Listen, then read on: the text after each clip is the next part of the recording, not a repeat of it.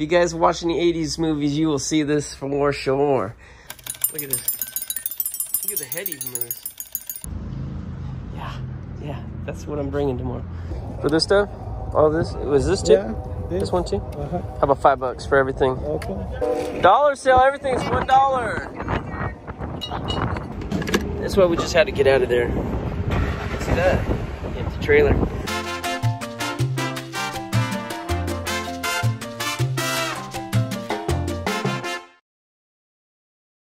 Last time on Locker Nuts, we bought this huge 10 by 20 unit for just 300 bucks. It was junky, dusty, and spider webby, and there definitely were spiders in here. We've gone through the majority of the locker. We've found vintage toys and clothes, which we're saving for the vintage market. But the majority of the stuff is just meh, and there's a mountain of it. So now it's time to move that mass, and that means a day at the flea market. But before that, it's time to go to the dump. We actually finished this last night. Jana and I in the dark, tying down everything, uh, but we didn't get it to the dump in time. Dump closes at 4. So here we are Saturday morning. Jana's waiting for a guy to show up at the gate. It's just about 9.30 opening hours. I snuck in behind another tenant. Uh, guy's coming to pick this up for free. Look at this. This is beautiful, isn't it? I, mean, I think it's nice. It obviously needs a little bit of work. At some point, I think they replaced the knobs, which is unfortunate. Those aren't original. But this is a nice mid-century piece for sure. It's a veneer, but it has a it has some clean looks to it. I like it, but cabinets aren't super popular. If this was a dresser, we'd be listing it and holding on to it and getting money or bringing it to the antique fair. But since it's a cabinet, it's not as desirable, but it is a nice piece nevertheless. Um, free, just trying to lighten our load. It'd be a shame to put that on that load to go to the dump. So you can give it to someone else so they can make some money or bring in their home and enjoy it. But I've got no shortage of inventory. We've got all this stuff. Look at that. All this stuff. So as we said before, all this over here goes to, is set aside for the antique fair. It's good stuff.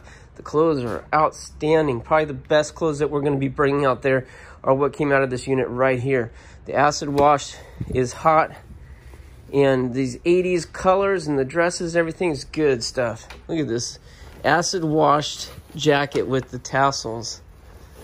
That's so cool. That is screaming 80s. If you guys watch any 80s movies, you will see this for sure. Um, got some vintage electronics here. There's some little black brass figurines in there. Um, a couple old suitcases here. It's good stuff. Definitely good stuff. All this over here is all just regular stuff going the regular market. Probably Stockton on Monday. In the back wall, there's still some boxes. That very last row of boxes we still haven't gotten to. I'd estimate maybe 15 boxes to go. We'll knock that out. That's that's nothing compared to what we took on. Oh, there's a couple of the last pieces I set aside right here for the antique fair. This one in particular, I think is very nice. Look at this thing. So this little piece I set aside for the antique fair, I this is one of my favorite pieces to come out. Look at this thing. It's so cool. And then we're gonna wind it up. I'll be gentle because this thing is definitely old. Definitely old. Look at this. Look at the head he moves.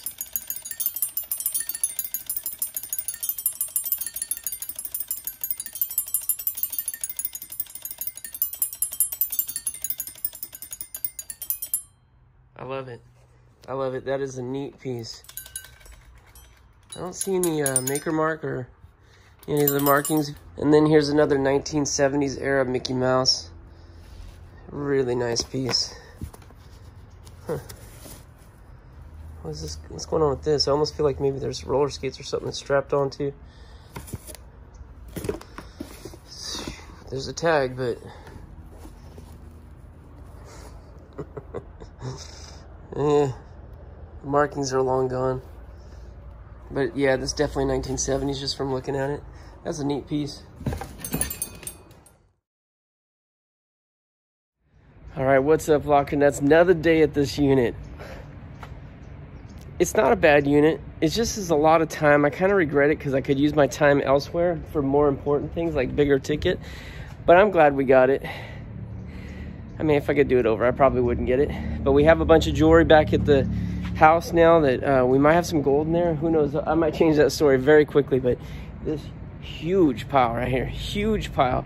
That's all got to go on this trailer to go to the flea market tomorrow. I'm going to load fast. I'm not going to film much because I want to hurry, quite frankly. I don't want to be doing this on my Sunday. I just got out of church and the Raider game's on. Mm, I want to go home and watch it. So uh, I'm going to get boogieing. Here I go. All right, guys, I did it. Can't say I was super fast, but it's gone. All that stuff's gone. Well, I should I say gone, but there's those two boxes right there, the gateway box and that brown box. Uh, if you don't know what that I meant by gateway, that's a gateway computer box, the one that looks like a a cow gateway computers if you ever heard of it. It's popular back in the 90s uh, check it out. I almost always forget to take a video of this before i put the tarp over it. Yeah yeah that's what i'm bringing tomorrow. Look at that crazy. Crazy crazy crazy. I started putting the tarp on. So that's what we got. That's a big load. It's not super heavy. Most of the boxes they're kind of light so it's not like a, it's definitely not the heaviest load. the tires aren't even bulging out, but it is a big load. Uh, but I like how it's like kind of like a big cube rectangle. It's a uh, packed well. I knew I needed to pack it well to get it all, and it's ready to go. And it's gonna be secure once I strap it down. So here's to tomorrow, hopefully a big day. All right, guys, I've been thinking about getting a cover trailer, investing in upgrading not only because rains are coming, it's gonna be here in a couple days, but also because of the time it takes me to tie all this down. It is nuts. It's, and especially it stinks because at the end of loading all this, I'm tired, and then I gotta, and then I gotta tie it down. Good morning, Locker Nuts. It is, I don't even know what time it is. Sun's coming up, Stockton. This is crazy. We have three booths and I've just unloaded the trailer. Haven't even unloaded the truck, the bed, or the back seat. Uh, run out of room. We do have a little bit of room here. saving this for the clothes that are about to come out, but uh, looks like it really does look like a bomb went off. Looks like a bomb went off. And uh, actually, the crowd has died down right now. We were mopped this morning in the dark. So things are going good. I already sold a decent amount, probably 75 to 80 bucks. Working towards my $500 goal today. That's what we want to do, minimum. All right, check that out. This is a piece of 80s history right here. That is screaming 80s, screaming. East West. I think I've seen that brand before actually.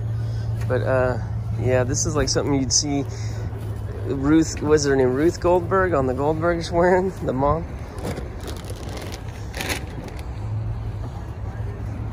How about that, mom? Did you see Debbie wearing that? No. Back in the 80s? No, yeah, Debbie wasn't yeah. that crazy? Oh, yeah. That's a neat one.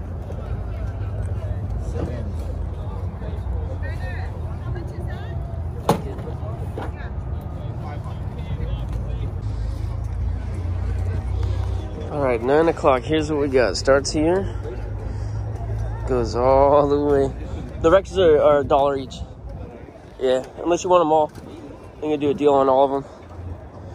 Uh, yes, we have all this, and actually looks pretty messy. And this is actually way better than it was just a little while ago.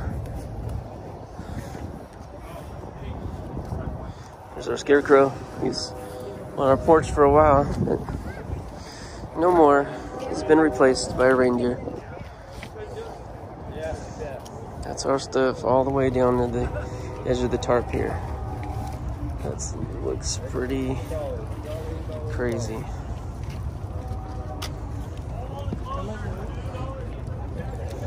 For this stuff? All this? Was this too? Yeah. This, this one too? Uh -huh. How about five bucks for everything? Okay.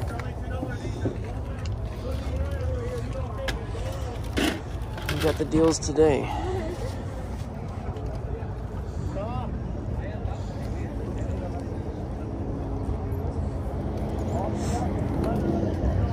Thank you. Thank you. Oh.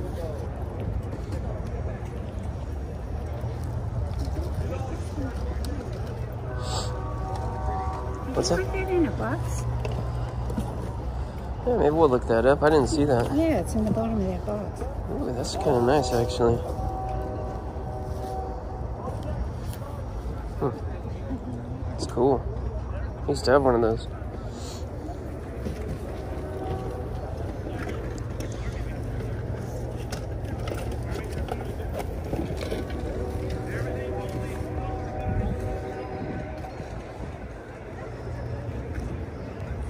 You can see down here, there's Storage Auction Pirate, and you see how mobbed he is down there? That's his, oops, that's his booth that has a, where you got the pods. It's really good stuff, high end, clean, and he's mobbed down there.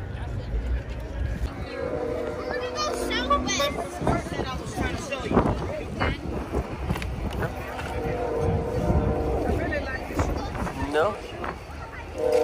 Dollar sale, everything's one dollar.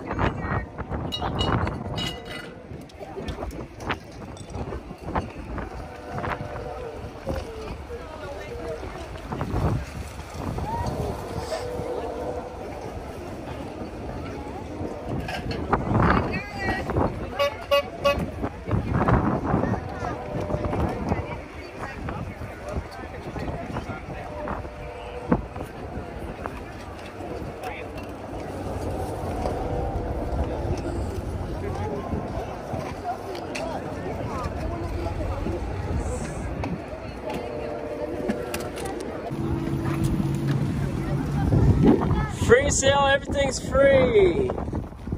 Free, free, free. Whew, got a lot of stuff. Free, free, free.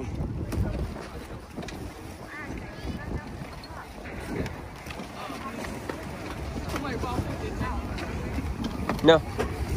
No. It's free.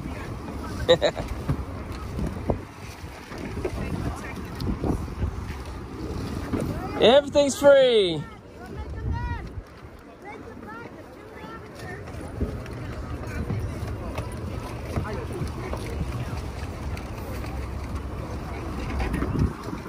Everything's free here. Everything's free. Free sale, everything's free over here.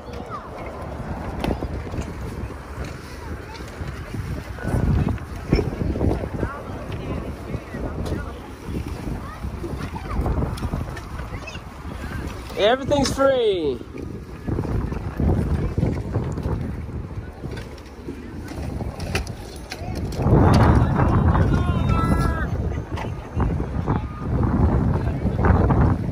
Everything's free. It is. and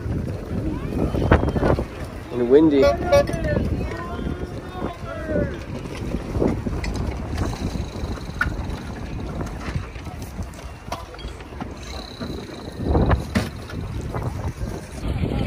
Everything's free.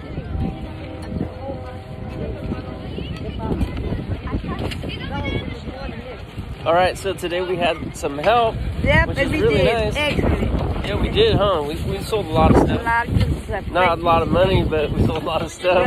Yep, yep. Yeah, Thank a you for your help stuff. today. Thank you. Yeah. I So next time, one here. Oh, mine is kind of heavy. Hey, you know my birthday is on um on the 27th. You guys gonna be out here? It might rain though. uh, 27th is what? November, that's 27th. This next uh, Is that this Thursday? week. Yep. I mean, that's Thanksgiving. No, Thanksgiving is on the 28th. Oh, Wednesday. Okay, Wednesday. Um, Wednesday, you might. if it doesn't there. rain, I'll be here. So. Yep, yep. What's up? Oh, look at this. What's going on? Special guest star. taking a picture of me and you know. Say cheese. We're recording. Thanks for your help again, Gotta Anita. record me because you know people be thinking that I ain't got no food. I got a dog with the shit just like That's right. This wind is horrible. Yeah, it's getting dirt in my eyes. All this stuff free? All free. Uh-oh. Look at that. Oh, that sucks. That's all gonna end up. Oh. It's time to go say dollar and free before this wind makes it. Just dropped. Alex is stepping on babies. Yes. Oh my god. Good thing they're fake babies. Chicken babies. It sounds different on these chickens. Everything's free. Everything's free. Please don't make a mess. I think that's gonna happen, huh? Fill up the box. It's around here somewhere.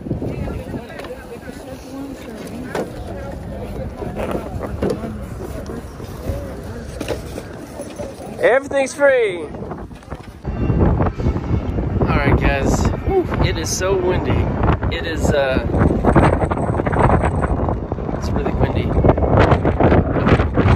That's the wind. That's blowing my hand. I don't even know if you can hear me with the wind noise.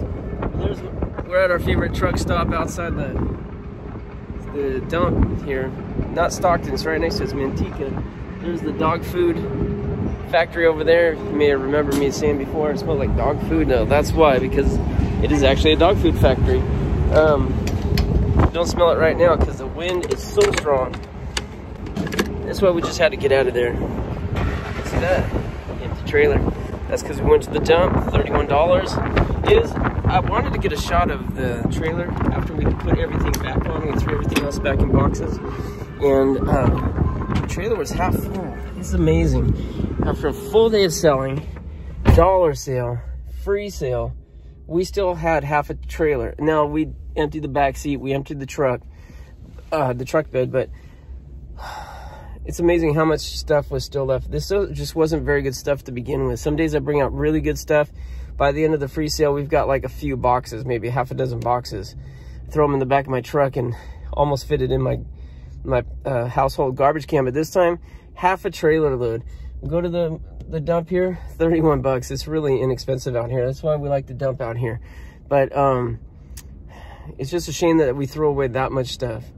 But this stuff, like I said, was not good to begin with. It was 30 years plus old. Most of it, almost all of it, 80s, 90s stuff. And we're not talking about high quality stuff to begin with. We're talking about stuff that they bought at the flea market or at Mervyn's or other low end stores. You see stuff that had tags. A lot of them had clearance tags on it. This is just low end stuff.